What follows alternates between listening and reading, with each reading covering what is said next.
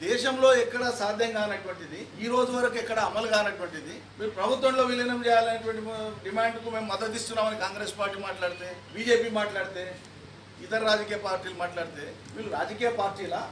లేకుంటే ఏ పూట కా పూట బ- బజార్లో ఉండేటువంటి అరాజ సంస్థల?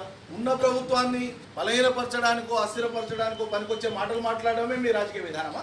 కనిపించదా ఇట్లా మాట్లాడానికి కాంగ్రెస్ పాలిత రాష్ట్రాల్లోనూ ఇవాళ బీజేపీ పాలిత రాష్ట్రాల్లోనూ అంతేందుకు ప్రధానమంత్రి ప్రాతినిధ్యం వహించేటువంటి గుజరాత్ రాష్ట్రంలోనూ ఈ కార్పొరేషన్లను ప్రభుత్వంలో విలీనం చేసుకున్నారా? సాధ్యమైతే మళ్ళీ మీరు ఎందుకో చేయలేదు. లేదు మీ మీ రాష్ట్రాల్లో ఈ క్షణానికి మేము చేస్తామని డిమాండ్ ప్ర- ప్రకటించండి మరి. దమ్ముంటే మనగాళ్ళు అయితే చిత్తశుద్ధి ఉంటే నిజాయితీ ఉంటే. ఈ పబ్లిక్ కోసం డిపార్ట్మెంట్ ఉంది. ఈ ఎమర్జెన్సీ డిపార్ట్మెంట్ ఉంది. పండుగ ముందు ఇస్టాక్ చేయొద్దు. ఇస్టాక్ చేస్తే అంటే రాంగ్ వెళ్తుంది ఇది. పబ్లిక్ కష్టం అవుతుంది చేయొద్దు చెప్పే తర్వాత ఆయన ఎమర్జెన్సీ డ్యూటీ ఉంది. చేస్తున్నారు. ఈ కాంగ్రెస్ ఉత్తమ్ కుమార్ రెడ్డివి సపోర్ట్ చేశారు. మా ఆనబుల్ సింగ్ గారు తెలంగాణ వచ్చిన తర్వాత ఎంత ఫార్టీ ఫోర్ పర్సెంట్ ఫిట్మెంట్ ఇచ్చారు. ఇంత మంచి ఇచ్చే తర్వాత తెలంగాణ తర్వాత మూడు వేల కోట్ల రూపాయలు ఆర్టీకు లాస్ ఆర్టీసీకు లాస్ వచ్చింది. అది గవర్నమెంట్ ఇచ్చారు. ఇచ్చే తర్వాత అవి ఇప్పుడు ఆర్టీసీ వాళ్ళు డిమాండ్ పెడుతున్నారు. ఈ టోటల్ రాంగ్ ఉంది. బీజేపీ పదిహేడు రాష్ట్రాల్లో మీ ప్రభుత్వంలో ఉన్న రాష్ట్రాల్లో ఆర్టీసీ సంస్థని ప్రభుత్వంలో విలీనం చేసిండ్రా అని నేను అడుగుతా ఉన్నా. కాంగ్రెస్ అధికారంలో ఉన్న ఏడు రాష్ట్రాల్లో ఆర్టీసీ సంస్థను ప్రభుత్వంలో విలీనం చేసిండ్రా అని నేను అడుగుతా ఉన్నా. ఇవాళ సిపిఐ పార్టీ కూడా ఉన్నది. ఇవాళ కేరళలో ఉన్నారు. మరి అక్కడ ఆర్టీసీలో విలీనం చేసి ఆర్టీసీని ప్రభుత్వంలో విలీనం చేసిండ్రా కమ్యూనిస్టులు? పశ్చిమ బెంగాల్లో ఇరవై ఐదు ముప్పై సంవత్సరాలు పాలించిండ్రు. మరి అక్కడ ఆర్టీసీని ప్రభుత్వంలో విలీనం చేసిండ్రా ఈ కమ్యూనిస్టు పార్టీలు? ఇవాళ ఎర్ర కండువాలు కప్పుకొని ఉద్యోగులను రెచ్చగొట్టే ప్రయత్నాలు చేస్తా ఉన్నారు. నేను ఒక్కటే రిక్వెస్ట్ చేస్తున్నాను ఆర్టీసీ కార్మికులారా మీ నాయకత్వం గురించి ఒకసారి ఆలోచించండి. ప్రతి నాయకుని వెనుక ఒక రాజకీయ పార్టీ ఉన్నది. రేపు ఆయన రాజకీయ పబ్బం గడుపుకోవడానికి ఏదో ఎమ్మెల్యే టికెటో ఎంపీ టికెటో లేకుంటే ఏదో కార్పొరేట్ టికెట్ కోసము ఇప్పుడు మీ కార్మికులు రెచ్చగొడుతున్నారు. మీకు నాయకత్వం వచ్చే నాయకులను ఒక్కసారి వాళ్ళ వెనుక ఎవరినో ఒకసారి గమనించండి. అమాయకులను మిమ్మల్ని ఇబ్బంది చేసే ప్రయత్నం చేస్తున్న వాళ్ళు.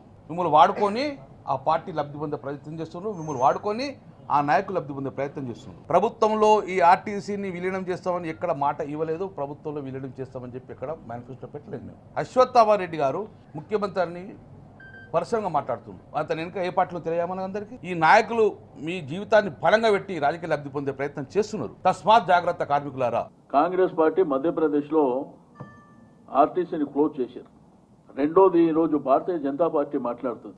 నీకు దేశవ్యాప్తంగా ఉన్నటువంటి రైల్వేనే మీరు ప్రైవేటైజేషన్ చేసుకుంటూ ఇక్కడికి వచ్చేసరికి డొంక తిరుగుడు సమాధానాలు మీ ఇష్టం ఉన్నట్టు మాట్లాడటం కొన్ని లక్షలాది మంది ప్రజలు ఈ టైంలో ఇబ్బంది పడవచ్చు దానికి మీరు సపోర్ట్ చేస్తారు. ఈ రోజు దేశవ్యాప్తంగా ఉన్నటువంటి రాష్ట్రాలలో ఆర్టీసీని విలీనం చేసినటువంటి రాష్ట్రాలు మరి ఏమన్నా ఉన్నాయా?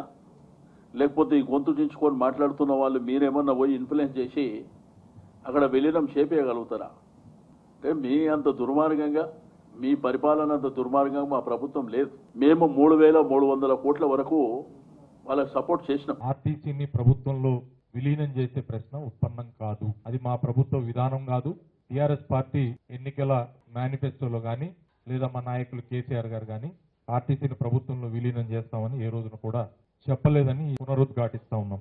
ప్రజలకి అసౌకర్యం కల్పించాలనే ఉద్దేశంతో అసంబద్ధమైన సమ్మెని ప్రజల మీద రుద్దాలని యూనియన్లు చేసిన ప్రయత్నం ఏదైతుందో దాన్ని ప్రభుత్వం మరియు ఆర్టీసీ అధికారులు సమర్థవంతంగా ఎదుర్కొని ప్రజల్ని వారి గమ్యస్థానాలకి చేర్చడంలో ప్రభుత్వం తన వంతు బాధ్యతల్ని పూర్తిగా నిర్వర్తించి విజయవంతమైందని చెప్పి తెలియజేస్తాం ఆర్టీసీని బాగు చేసే ప్రయత్నంలో తీసుకున్న కొన్ని చర్యల్ని ఖండిస్తూ వాళ్ళేదైతో సమ్మె చేస్తున్నారో దీన్ని ప్రజలందరూ గమనించాలని మేము విజ్ఞప్తి చేస్తున్నాం. ఏ రోజు టీఆర్ఎస్ పార్టీ గౌరవ ముఖ్యమంత్రి గారు ఆర్టీసీ కార్మికులకు ఆర్టీసీని విలీనం చేసుకుంటామని కానీ ప్రభుత్వ పరం చేసుకొని మరి ఇచ్చేస్తామని ఎక్కడ కూడా ఒక్క మాట మాట్లాడింది లేదు.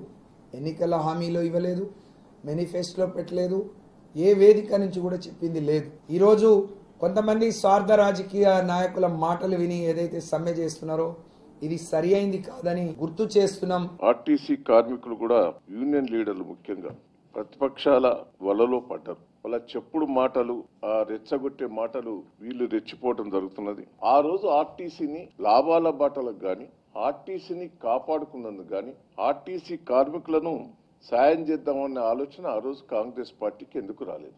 నేను బీజేపీ పార్టీ వాళ్ళకు విజ్ఞప్తి చేస్తున్నాను మీ వేషాలు బంద్ చేయండి మీ డ్రామాలు బంద్ చేయండి. ప్రజలు అసహించుకుంటట్టున్నది మీ మీ డ్రామాలన్నీ